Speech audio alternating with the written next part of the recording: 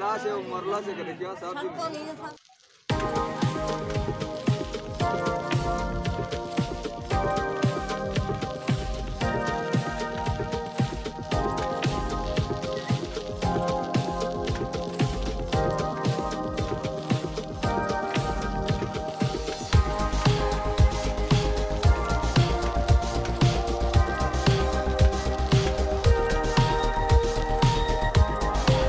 दोस्तों, ये है फूलगोभी का बाज़ार, जो कि बंधा फूलगोभी यहाँ पर मिलता है।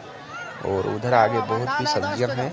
ये भाई साहब धनिया पत्ता दस के भाव में देता है और बंधा भी दस के भाव में देता है। और इधर है टमाटर और आगे बहुत ही सारी सब्ज़ियाँ हैं और बहुत ही शानदार बाज़ार लगा हुआ है यहाँ पे। और चलिए मिलाते हैं और आगे। ये देख लीजिए टमाटर, बैंगन, गाजर वो जो छोट है, वो बहुत ही बड़ा बाज़ार लगता है यहाँ पे। रोहिणी बाज़ार जो कि देवघर ज़िले के बहुत नज़दीक में है। और इधर आ गया, देख लीजिए बंदा इधर भी फूलगोभी इधर है, टमाटर है, मूली है, और बैंगन है, बड़ा बैंगन जो काला बैंगन होता है।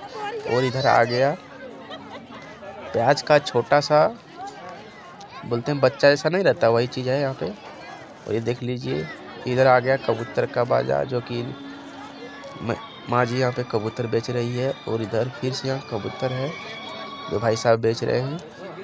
और इधर आ गया लेडीज़ का सामान, मनिहारी सामान जिसको बोलते हैं, आदिवासियों के बात विचार के लिए। इधर भी लेडीज़ का सामान है। और इधर आ गया बर्तन जो कि लेते हैं सब कोई। इधर आलू है। देखिए भाई साहब कैसे आलू उठा रहे हैं, आदिवासियों के स्टाइल ये हो गया अंगूर, सेब।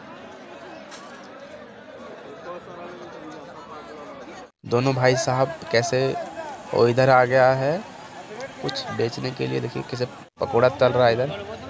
और ये आ गया मछली मार्केट, जो कि बहुत ही भयानक मछली मार्केट लगता है। आज मैं थोड़ा लेट हो गया हूँ, इसीलिए। नहीं तो आप लोगों को बहुत अच्छा से मछली मार्केट दिखाता आज मैं। चलिए देख लीजिए आगे। आगे देख लीजिए, तिलपिया मछली है।